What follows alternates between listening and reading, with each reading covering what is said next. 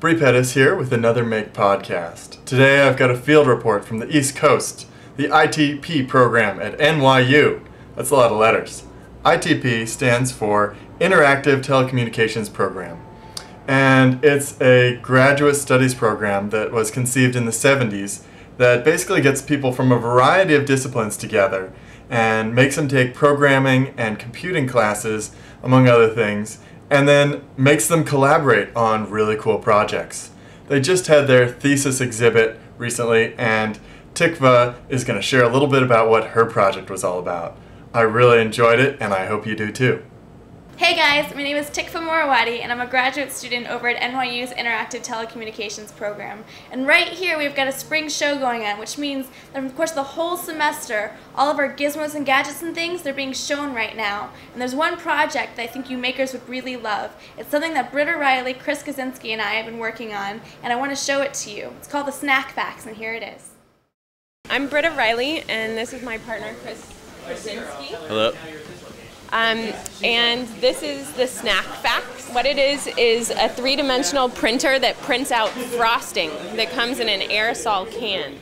And um, right now we've got it printing four different colors. We call it the Snackfax because we also have a software application for it that allows you to draw a three-dimensional sculpture and then you can hit print and it will send it to um, the Snackfax and print it out so it's like a teleporter. It teleports your sculpture into real life. For today, for the show, we have um, we have it hooked up to a joystick controller that allows you you can move it backwards and forwards and to the right and the left. And then we've also got one that lets you go up and down so that you can draw slices.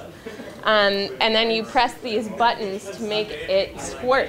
Ideally, we would love um, to experiment with some more uh, chemicals, different, you know, different things, because we'd like to get something that has a really good consistency that you can print with, so it's liquid.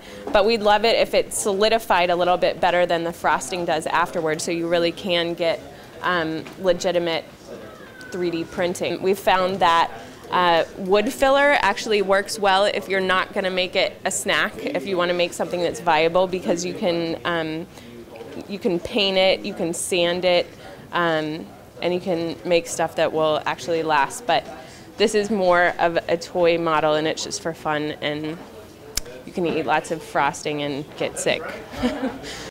so Chris, how did you guys make this? Um, kind of simply, it just runs on four servo motors and four stepper motors.